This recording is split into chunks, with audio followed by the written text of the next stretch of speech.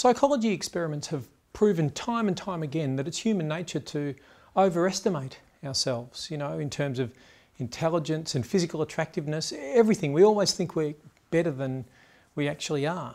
And I think that's certainly true for myself.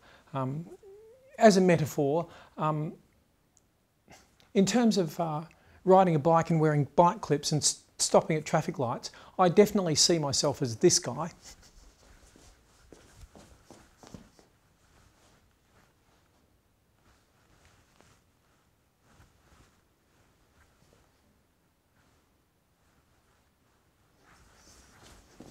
But in fact, I, am sure I'm, I'm this guy.